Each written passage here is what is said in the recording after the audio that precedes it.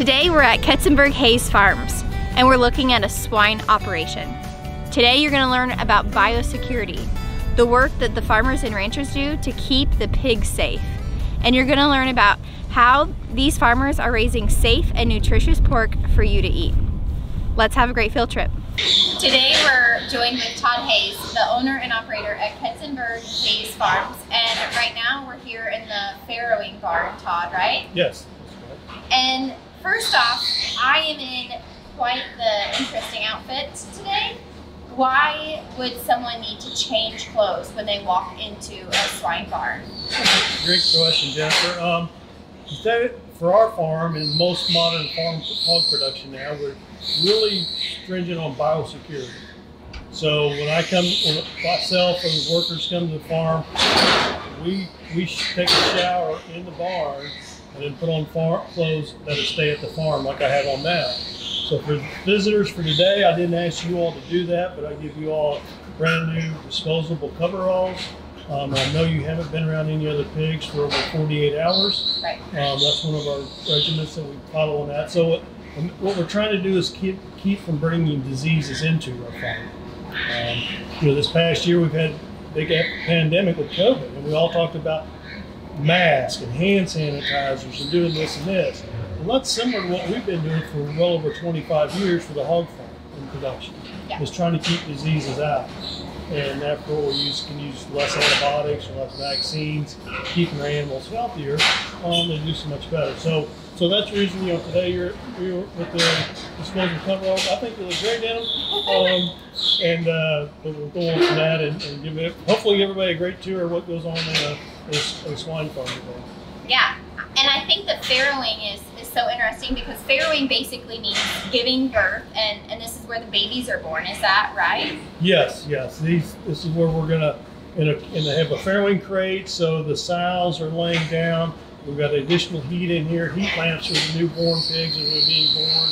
Um, the pigs are, are protected from away from sows, so they less have to get laid on um, versus when we were doing it naturally outside a lot of pigs got crushed and laid on a lot because they didn't have that protection.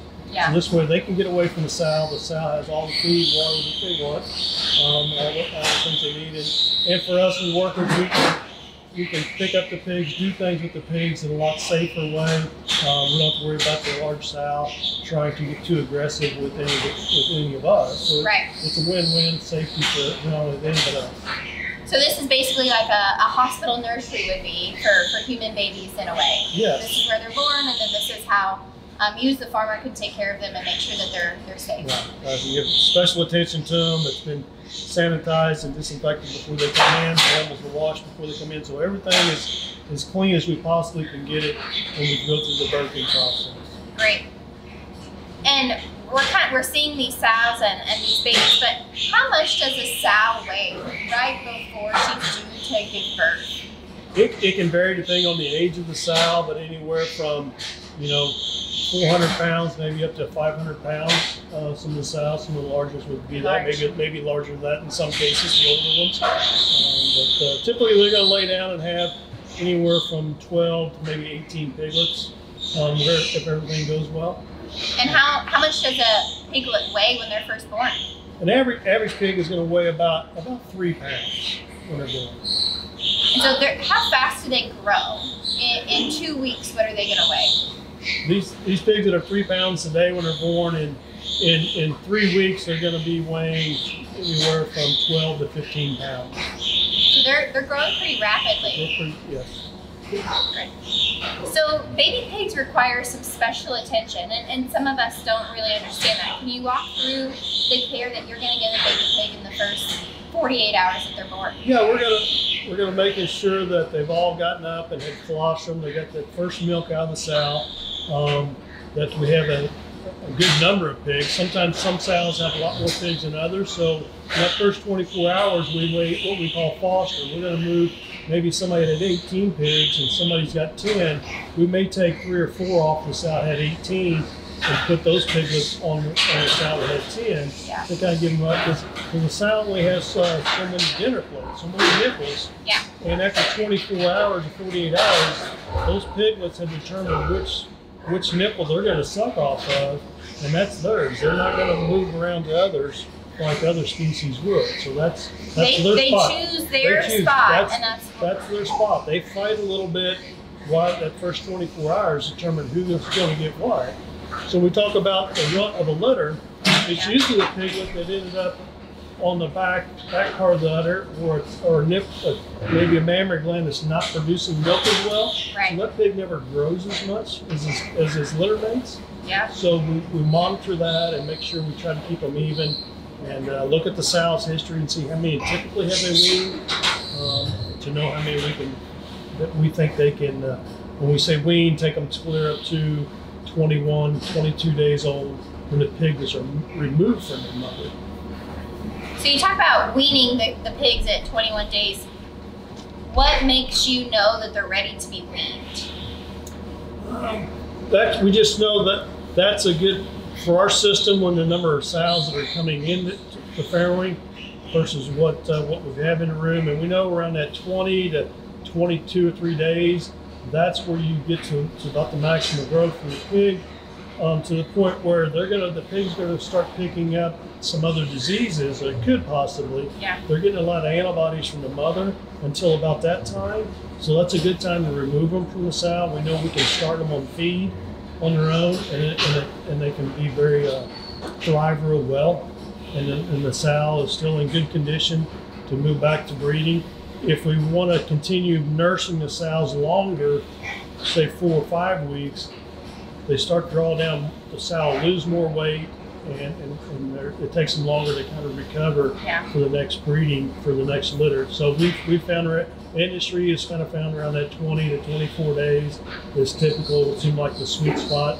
Um, they can be weaned earlier if need be, um, or you could go longer. But that's kind of where, where most of us kind of kind of fell into that area there, in that 20 to 24 days. After they're weaned, what do they start eating? What what kind of feed are you feeding You know, they're, they're going to get um, a high, really high nutritious feed. It's a pellet or formula. It's got a lot of, a lot of whey in it, a lot of milk products and sugars, um, a lot of fat. Similar to what the milk would be from the sow, because Yeah. the pig's the pig's stomach has got to get used to just digesting some proteins through, through work for its corn and soybean Yeah. meal. So it's kind of a phase we go through for four or five days, and then we switch into another diet that's got less of that product and maybe a little bit more corn and soybean, a little bit of a plasma in it, a little fish meal.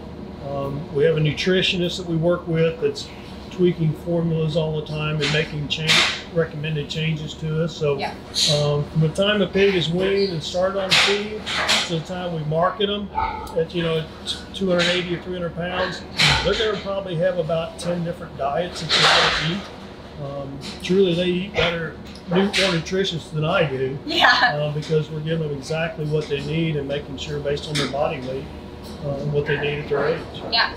So regardless of their stages, you're making sure, and your nutritionist is making sure that they're getting um, enough calories, enough protein, enough vitamins and minerals to, to grow into healthy pigs. Yes, yeah, well, that's one of the most one of the important things we do, other than the biosecurity, is making sure the feed is right, that it's fresh, and that it's balanced. Balanced diets what the pig needs at the growth stage. they're. Um, what what kind of special care goes into a newborn piglet? Well, we, we want to make sure that, that as, as a being born, we try to, if we can, we try to dry them off if we're here. Yeah. Um, see that they're getting up to the nipple. Um, sometimes you have pigs that are born that aren't moving or breathing real good, so you kind of you kind of rub them with a towel, kind of get them dried off, and that Yeah. helps get their blood flowing a little bit, get them to breathing and oxygen. That it doesn't happen a lot. Sometimes you have a sow that may have three or four pigs at the same time. You know, instantaneous. Yeah. So you got there's a little more work there. Get them all spread out and warmed up under the lights, um, depending on what's going on. Um, but just making sure that they're getting around there, not staying up here by the sow's mouth because there's nothing for them to eat up there. Yeah. Um, and then they get cold, and once if they get chilled, it's harder for them to get going again. So it's get them warmed up quick. And uh, but most of the time, the, they naturally want to go get up and move around pretty quickly after they're born and find that nipple to get started with some with some colostrum with the milk, Yeah. and that really gets them going that way. But uh, sometimes we have this system to get them up to a nipple to get a little milk in them to kind of get them going, and that uh, that's just all part of it. Yeah. So something interesting about pigs is that we actually give um, pigs an iron shot. Can you explain why we give them supplemental iron? Yeah, pig, when pigs are born, they're they are deficient in iron, and they uh, they don't the sow doesn't produce enough iron in her milk. So we give the piglets a small amount of iron, injectable iron, at, at day one, so they won't be anemic. Um, once they get to eating feed, there's enough iron in their in the feed in those diets that they get enough iron that way. Um, but but indoors with the facilities we have, they're not going to get any iron any other way. So it's an easy way to give them give them that iron, give them a little boost. Um, sometimes we may put an antibiotic in there with them to help that first three or four days, that they don't get an infection through their navel cord or something else. Right. Um, so that's a good way of doing that. It's, it's not very invasive at all. The pig, piglets don't even know what's going on. And uh, in a couple of minutes, you can do 10 or 12 pigs and move on and do some others. And it's a, it's a, it's a great way of uh, taking care of what they need. And uh, the industry's developed that over the years. And whether we did it 40 years ago um, at three or four days of age, or to do it at day one, um, it's a lot easier and, not, and less invasive. And it gets them kind of on their way so that they can um, Yes. grow and, and be healthy. Yes.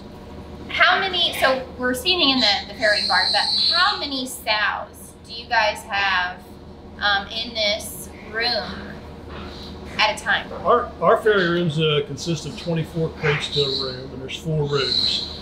So we're uh, we're going to fill a room. Uh, we'll, we'll farrow at least 24 to 30 a week. Um, so yeah, we have typically twice a week weaning. So primarily you have a lot of farrowings going on in a two or three day window, a couple different times during the week. But it's not uncommon to have a litter of pigs born every day. Yeah. Um, we kind of let them go naturally. And a sow's going to going to gestate uh, about 114, 115 days before they give birth. So is 114, 115 days. That's about three months, three weeks, and three days. That's exactly that right. right? The old rule of thumb uh, for sows or pigs is three months, three weeks, and three days from the time they're bred till they give birth. So uh, we, we, kind of track everything by days. So so yeah, they're 115 days. Um, then we're going to let them nurse on the sow for 20 to 24 days. We'll pull them off. Within five to seven days after a sow's weaned, they should cycle where we can breed them back. Um, we do everything artificial insemination on our farm. And then, uh, then about every 150 days, the sow should have a litter of pigs in farrow- farrowing intervals. Yeah. So you mentioned artificial insemination, and here in Missouri, a lot of farmers use AI because it's um, just an easier way to make sure that you're getting superior genetics. Is that why you choose, or do you choose to do AI for That that's that is a good point. That's one of the main reasons we do AI. And another thing is just for safety aspect. Yeah. For myself, for the other workers, it's easier. We don't have all the boars on our farm that we used to have. Um, boars get tend to get uh, kind of aggressive at times Yeah. uh, during the mating process. So this is a lot safer for everybody, and we can, like you said, improve our genetics a lot quicker rather than buying a boar and keeping it for a couple of years if we happen to buy the wrong few boars, then all of a sudden our pigs aren't going to be very good pigs for several years. Yeah. If we're buying it through a artificial insemination, we're getting semens from a boar stud, and we're turning those over quite often and having the best of the, of the best, hopefully, what we're getting.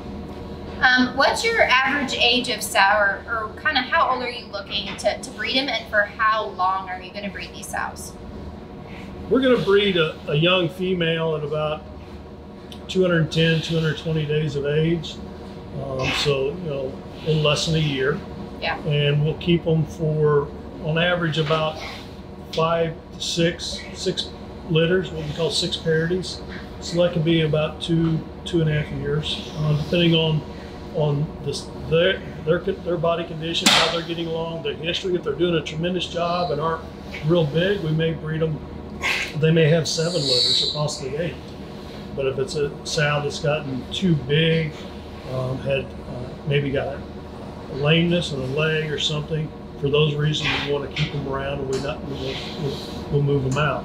Uh, but typically we can get you know five or six litters, and they kind of hit their peak um, at that three, four, and five is when they do the very best. Yeah. I'm, I'm looking around and all of these sows look pretty similar. So I'm assuming that they're all the same breed. Can you tell me what breed that these pigs are and, and why you choose that breed? They're primarily a, they're a white, as you can see, a white animal. So it's got a lot of York, little landrace, um, some some Duroc in them that's been bred. The color's kind of been Yeah. bred out of them, but it's a commercial animals that we purchase, um, and then we'll breed them with, uh, with a terminal so- source. And we don't keep, we don't raise any of our own gilts, keep any of our pigs for our own for replacement gilts. Okay. Um, so they're all what we call terminal pigs. So they're all for, for meat pigs. Um, so that gives us a lot of product, more productivity that way. Um, but the sows are very docile. Um, they kind of got used to people being in here. I mean, we're standing here today and we, they're not jumping up and down. They aren't squealing. Um, they're used to that. And that's that's part of change over the period of time, but in the, in the genetics and uh, the environment, and just knowing having people that care about the animals that work here with us. You know, they love pigs. They don't get aggressive. They take they take time, and the sows pigs pick up on that. Yeah. You know, if you get a worker or two, or people that get too aggressive, well, then the sows get nervous, and then things don't go right, and it just continues on. But if they, it's kind of like your pets at home, with a dog or a cat. You're always nice to them and play well with them, they're great. But if you got somebody that torments them, then they get a little aggressive. Yeah. So, so we, we, we take a big lot of pride in that, and, and we're very fortunate to have people that help work here that, that have a passion for the animals, and that's very important to have. You talk about um, the, the people that work here, and this farm is, is a multi generational farm. Can you kind of talk us through uh, the process of, of what you went through to, to land here and, and to farm, but also what it means to have your your son farming with you and your grandkids involved, and, and just of that legacy that you have here? Yeah, my wife and I both had opportunity to grow up on, on family farms and pig production and cattle and, and crops, and uh, I'm very proud to you know be able to be a fifth generation of, to be able to raise pigs uh, and crop, and having our son his wife involved in it, our daughter soon to be involved in it, if they'd like, and our grandkids. You know, it's don't think about it, I guess, as, as it's got developed into that, I take a lot of pride in that. But it's been, a, I think about you know, my great grandfather, my fa- father, you know, all the people before me, what they did and how they worked to keep the farm going, allowed us an opportunity to have a grow up with it, to have a passion for it. Um, but as I got involved in operation with my wife's family in the, in the late 80s, uh, we went from outdoor sow lots um, to, to indoor, getting everything indoors in, in 94 we just saw the efficiencies improved, productivity improved, um, so many things with, with being indoors. But um, very proud that, that the kids want to be involved in it, and it's fun seeing the grandkids, uh, you know, want to play with some pigs and have fun with it like kids, Yeah. kids do, and uh, gives them an opportunity to learn some things that, that you can't learn any other way. Just being here, and being a part of it. You, you've mentioned a few times how the industry has evolved over the years. Can you kind of walk us through um, why that evolution is important and why, as an industry, we're always pushing forward? I think it's farmers and by nature we want to do better this year than we did last year. Find Yeah. a way to improve. Um, over the years, um, we've learned that we could put up facilities to get our pigs indoors, so we can control the environment. So today it's been raining and blowing and it's cold and miserable outside. These animals don't know that. You know, they're they're cared for. When it was snowing and 20 degrees or zero this winter, the pigs didn't know it. It's 75 degrees in here. You know, we can cool, keep the rooms cooler in the summer. They don't get as they don't get as hot as they would be outside. So it takes less feed, less water, some things that help us be more sustainable. And we're always looking for that next thing we can do. You know, whether it's a process how we to raise the pig, or if an equipment change, or what we can do differently that we can afford to do that's cost effective, then it has to make sense for the pig too. It's better give us better care for them. So um, all those things keep evolving, and I think in anything we have to keep changing as we as we move forward. Um, uh, you know, my dad and uncle farmed as partners for many years. My uncle would always say, if we're average, boys, we're behind. We got to always be above average to keep moving things forward. And, and I was fortunate to grow up in a family operation that for five generations or more now, that's how they all farm. From, from feeding pigs out on the ground to buying a self feeder, putting feed in in 1910 and neighbors mocked my great grandfather for doing it, thinking he was lazy. But he was seeing the savings in the feed that wasn't in the mud. The pigs were utilizing. So that that's a basic thing. Now to think about that. So now we're looking. Okay, can we design a feeder different so it's easier to eat, or to get more intake, or water? Where does that need to be so we're not wasting water, and all those things. So we're just looking at things different environments. You know, we're moving the air right, we're providing the right quality, kind of heat or light. So technology, innovation, industry, uh, you know, we look for those people to come up with those things. And sometimes we'll maybe think of something on our own on our own farm. Yeah. But it's, it comes down to can we get the best care for our animals and uh, get the job done. And hopefully we keep doing as we move forward. I don't know what the future holds, what changes will be made, but I just know there's going to be changes. And we have to be ready to embrace that and, and try to adapt to it. As a, as a farmer of, of animals, what do you want consumers to know about what you do and, and about these pigs? Well, first and foremost, any, anybody that raises pigs or raises livestock loves their animals, loves what they do, and, and their, their primary intention is going to be the care of the animal. You know, whether for me it's you know it's it's long days, or maybe you know you got weekends, or you spend the time with them. Maybe two o'clock in the morning, you get an indicator the furnace is not working. You get up and get out of bed and go fix the furnace to make sure your animals are cared for. Um, you know, we're giving them all the care. We try to keep them healthy. We minimize the amount of antibiotics we use if we can keep the disease out of the barns. Yeah. Um, use vaccines when needed based on what strains or things we've got going on. Um, we monitor very strictly what feeds are going into the pigs and, and any antibiotics we use. There's a withdrawal time, meaning, you know, we can't use this product from this day forward. You know, we know from, from some point we can't be in the big system. So there's no, we're talking about antibiotic free meat or see no antibiotic, in the, in the meat case, there's no meat in America sold that's got antibiotic in it. Uh, there's some meat, some animals that had never had an antibiotic given to them, but there's pigs like us, we'll give them some antibiotic when need be. But by the time there's no residue the meat, and that's monitored at the facilities where we send our animals, they're doing mock checks of that, doing tissue samples. So we self police ourselves. Don't want consumers know that hey, we're here providing a safe product, a wholesome product. Um, we've changed the genetics over the years to get, meet more consumer demand on more leanness, a healthier product. Um, so through genetics, through feeding, different feed rations, what we're doing, I think we're meeting that, that goal. Um, but yeah, we love what we're doing, and we'll uh, continue to do this and provide, make sure there's plenty of meat in the meat case, whatever type of meat those consumers want. Yeah. If they want um, something that's raised outdoors and pasture, there's that choice. If they want something else, there's choices. So consumers know don't don't limit us on what how we can raise it. Let us all find our own way of raising our animals that meets the standards of today for USDA, but also meets the needs of consumers because all the consumers have different needs. Yeah. Allow us to do our thing so they can provide for them. So now we're joined with Donnie, who is um, the sixth generation on this farm. And obviously, you guys look a lot alike. So we know you're father and son. Um, but your title would sort of be farm manager, right? Yeah, yeah, that's right.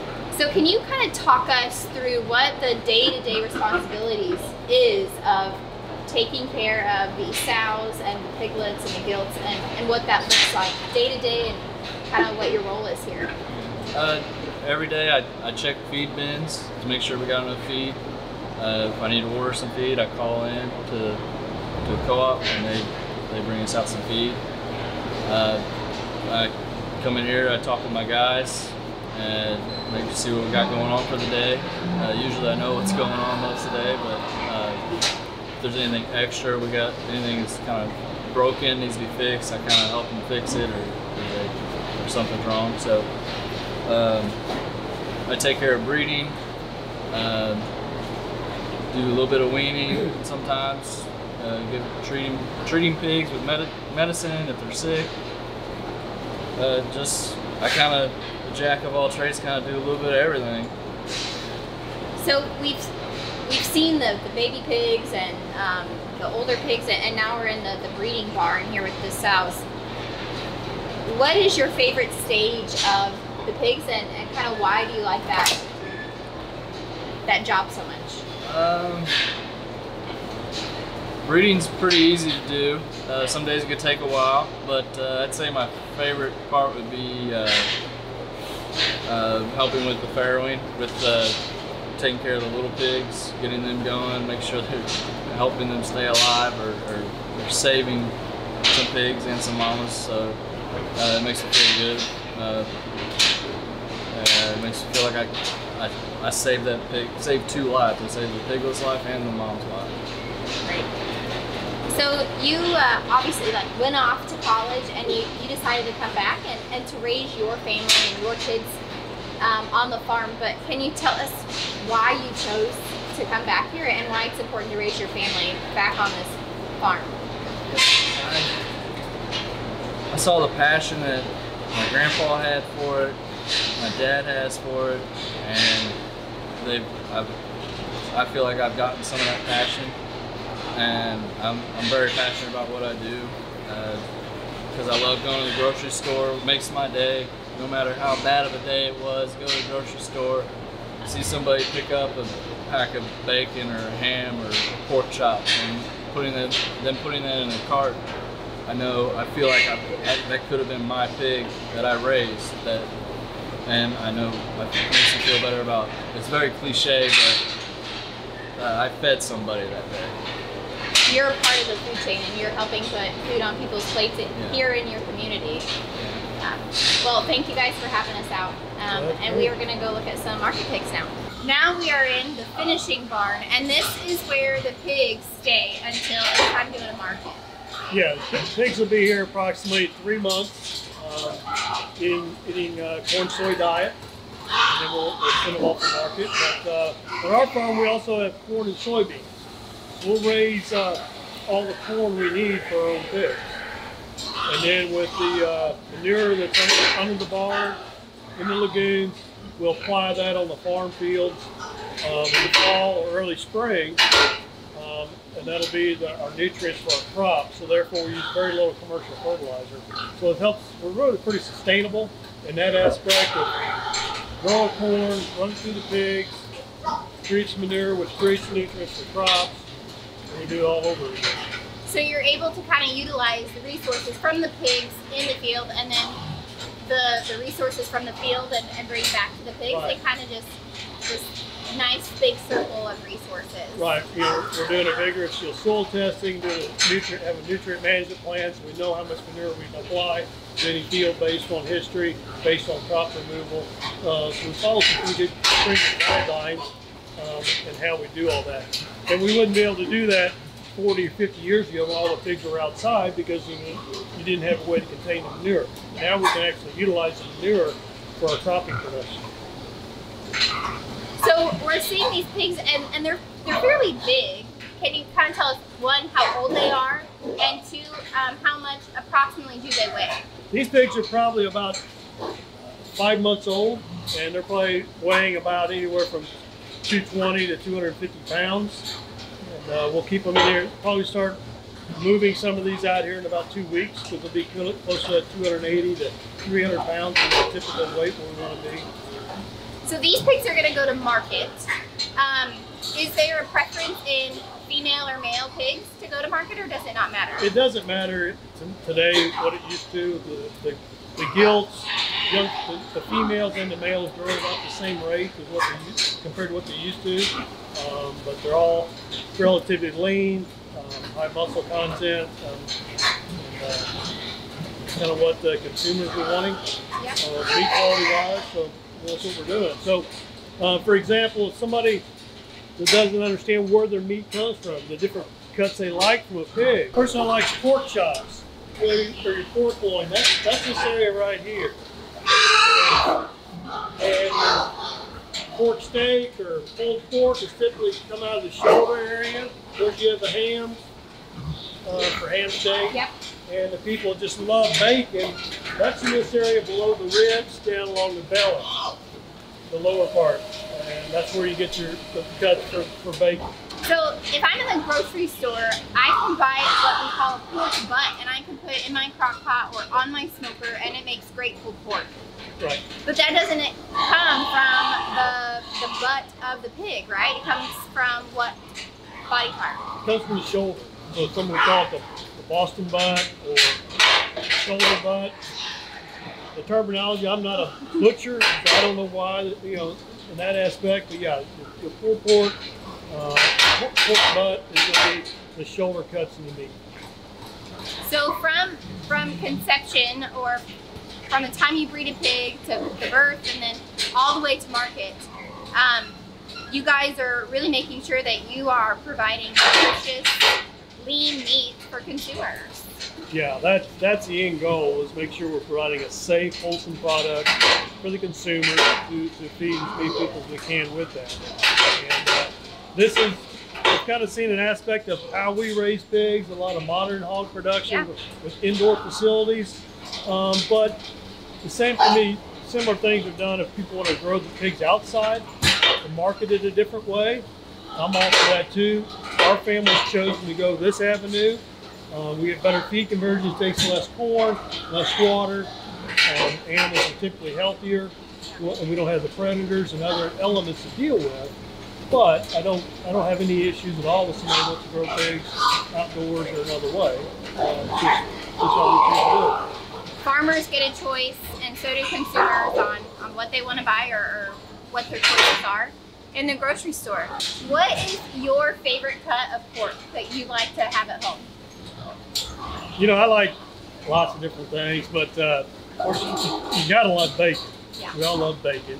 Uh, but a good pork chop, you know, smoked pork loin is always very good. It's very easy, it's very nutritious, Yeah. and uh, feeds a lot of people. So you know, I find that way. But you know, I grew up grew up raising pigs and eating pigs that we raised, like we still do today. Um, so it's just different facets. Good old pork burgers, even great in the summertime too. So Yeah. uh, we love those around our house. Great. Todd. thanks for uh, being here with us in the pig barn, for showing us kind of a modern day swine operation and what it looks like. And on behalf of Missouri Farm Bureau and consumers, thank you for being a farmer and for producing safe and uh, nutritious food for all of us to have. You're truly welcome. I appreciate you all taking the time to be here, and I hope people viewing this get a good sense of what pig production is on our farm today. I thank you. You're welcome. Thank you.